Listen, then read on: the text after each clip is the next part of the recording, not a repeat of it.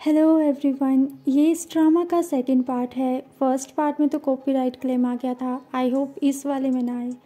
आगे इंजे को अपने डैड को देखकर याद आता है कि कैसे इसकी मोम ने इस पर बहुत ज़्यादा गुस्सा किया था।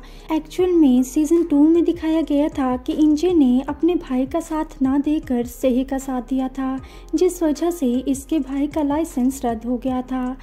आगे डैड इंजे के पास आते हैं और कहते हैं, इंजे, काफ़ी टाइम हो गया मिले हुए, तुम ठीक हो ना?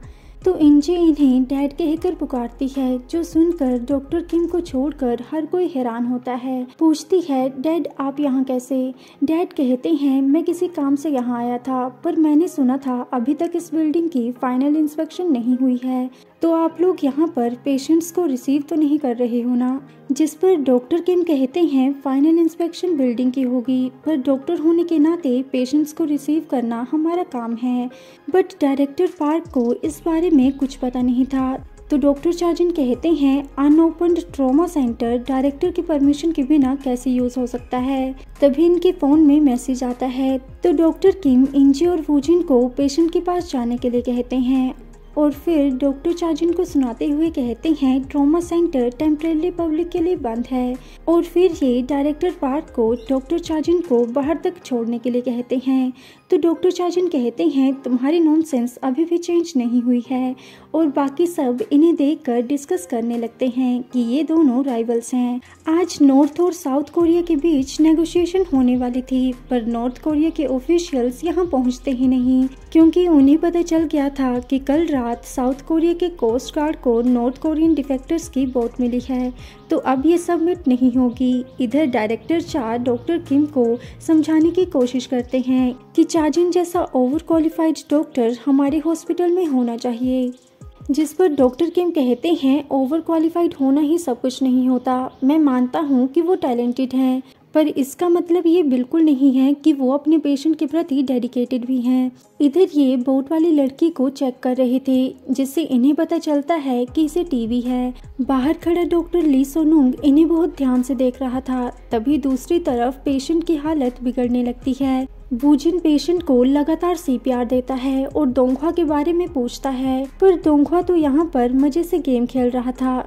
डॉक्टर वूजिन और इंताक पेशेंट को लगातार सीपीआर देते हैं और डॉक्टर किम पेशेंट को ट्रीट करते हैं। तो ये देखकर मिलिट्री डॉक्टर ली हैरान होता है कि डॉक्टर किम तो जनरल डॉक्टर हैं तो इन्हें कैसे पता कि कार्डिक अरेस्ट के साथ कैसे डील करना है? आगे इन्हें पता चलता है कि अगर इन्होंने आज रात उन पेशेंट्स को बोट में वापस नहीं भेजा तो सोल में होने वाली सबमिट कैंसिल हो जाएगी। क्योंकि वो लोग अनऑफिशियल तरीके से यहाँ लाए गए हैं। डॉक्टर किम इन्हें समझाते भी हैं कि उन लोगों की कंडीशन बहुत ज़्यादा क्रिटिकल है, पर इन्हें तो बस सोल में होने वाली सबमिट की चिंता थी। और इधर वो जिन फिर से दोंगवा के बारे में पूछता है तो इसे दोंगवा के पोस्ट देखकर पता चलता है कि वो इस वक्त गेम खेल रहा है। तो इंजे मैसेज करके इसे हॉस्पिटल बुलाती है और फिर इंजे और वो जिन इसे डांटते हैं क्योंकि आज जब इमरजेंसी टाइम में इसकी ज़रूरत थी तो ये यहाँ पर नहीं था। और ऊपर से कल रात भी ये हॉस्पिटल से जल्दी चला गया था। वूजन इसे समझाता है कि डॉक्टर होने के नाते इसके क्या रिस्पॉन्सिबिलिटीज़ होनी चाहिए। और फिर ये इसे रूम वन वाले पेशेंट की रिस्पॉन्सिबिलिटी देता है। आगे ये इंजी से पूछता है कि तुम्हारे डैड तुम्हारे भाई को लेकर अब भी तुम पर गुस्सा हैं। तो इंजी कहती है, पता नहीं, और सोचती है कि पास्ट में उनके बर्थडे वाले दिन ये उनके लिए केक लेकर गई थी। पर डैड इससे नाराज़ थे तो वो इसे इग्नोर करके यहाँ से चले गए थे। तो ये सोचते हैं कि अभी वोजिन को उनसे इंट्रोड्यूस करवाने का सही टाइम नहीं है।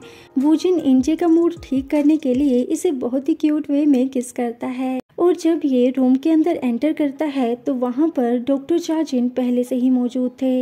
ये पहले इससे इसका नाम पूछते हैं और फिर कहते हैं इंजे मेरे लिए बहुत ज़्यादा प्रेशियस है। हमारी फैमिली में कोई भी प्रॉब्लम नहीं होती अगर तुम मुझसे नहीं मिले होते। एक्चुअल में इंजे के भाई से जो गलती हुई थी, उसे डिटेक्ट वूजिन नहीं किया था। तो डॉक्टर चार्जिन वूजिन को उसके लाइसेंस रद्द होने का रीज़न मानते हैं। इधर मिस्टर जांग को याद नहीं आ रहा था कि आज दोपहर चार बजे उन्होंने कुछ शेड्यूल करके रखा था, पर क्या? और दूसरी तरफ़ इलेक्ट्रिकल इंस्पेक्शन वाले आ गए थे, जो कि चार बजे ट्रॉमा सेंटर की पावर ऑफ़ करने वाले थे। डायरेक्टर पार्क डॉक्टर किम पर गुस्सा करते हैं, क्योंकि डॉक्टर किम उस पेशेंट की सर्जरी करने का डिसाइड कर चुके थे, पर इन्हें तो आज रात उन पेशेंट को बोट पर भेजना था। इधर ये आदमी बाथरूम जाने के लिए कहता है और जाते जाते नाइफ उठा लेता है। वो जिन दोंखवा की जगह मिलिट्री डॉक्टर ली को पेशेंट के पास देखता है तो ये दोंखवा के बारे में पूछता है। पर दोंखवा तो बाथरूम में छिप कर गेम खेल रहा था, तभी से बाहर आवाज़ सुनाई देती है। बाहर ये आदमी नेशनल इंटेलिजेंस के आदमी को मारता है। अभी ये इसे ठिकाने लगाने ही वाला था कि अंदर से इसे मैसेज की साउंड सुनाई देती है। तो ये दरवाज़ा तोड़कर अंदर आ जाता है। बाहर ये बच्चा भोजन को बाथरूम के अंदर जाने से रोकता है और कहता है, इस आदमी ने मेरे डैड और एक डॉक्टर को मारा है और उसने कहा था कि वो हमें भी मार सकता है। वूजिन अंदर जाता है। इधर डायरेक्टर पार्क डॉक्टर किम को सर्जरी करते हुए देखकर इन पर प्राउड फील करते हैं। आगे पावर ऑफ़ कर दी जाती है, तब मिस्टर जांग को भी याद आ जाता है कि आज इलेक्ट्रिकल इंस्पेक्शन वाले आने वाले हैं, जिस बारे में ये डायरेक्टर पार्क को भी बताता है। तो डायरेक्टर पार्क इस पर गुस्सा करते हैं, क्योंकि सर्जरी के बीच पावर ऑफ़ हो गई थी। तो ये सेलफोन की फ्लैशलाइट की मदद से सर्जरी करते हैं। और इधर वो जिन तोंखुआ के फ़ोन में चल रही गेम को रेज्यूम करता है, जिससे बुलेट्स चलने की आवाज़ आने लगती है। तो दोंखुआ जल्दी से अपने आप को बचाता है, पर फिर इसके हत्थे वोजिन आ जाता है कि तभी ये लोग आकर इसे बचा लेते हैं। वूजिन उस आदमी को चेक करने लगता है तो दोंघा कहता है, वो ज़िंदा है। मैंने उसकी पल्स चेक की थी, और इधर मिलिट्री डॉक्टर ली ने पावर ऑफ़ होने पर एक पेशेंट को बहुत अच्छे से ट्रीट किया था। तो डायरेक्टर पार्क इसे अप्रिशिएट करते हैं। आगे डॉक्टर वूजिन और डॉक्टर चाजिन एक दूसरे के आमने सामने आते हैं। तो डॉक्टर वूजिन कहता है इंजी मेरे लिए भी बहुत ज़्यादा इम्पोर्टेंट है। मैं जस्ट आपको बता रहा हूँ। इन्होंने सभी पेशेंट्स को वापस भेज दिया था। तो वो जिन डॉक्टर किम से कहता है, क्या हमने उन पेशेंट को वापस भेज कर सही किया? तो डॉक्टर किम इसे समझाते हैं कि डॉक्टर्स होने के नाते हम जो कर सकते थे, हमने उसमें अपना बेस्ट किया है। इधर डॉक्टर नाम और मिस सो हैरान होते हैं कि डॉक्टर किम ने उन्हें रोकने के लिए कुछ नहीं किया और उन पेशेंट्स को वापस भेज दिया, इवन कि उस मासूम बच्चे को भी। आगे सोल में सबमिट हो जाती है और इधर आरिम और बेमुंजोंग हॉस्पिटल वापस आते हैं।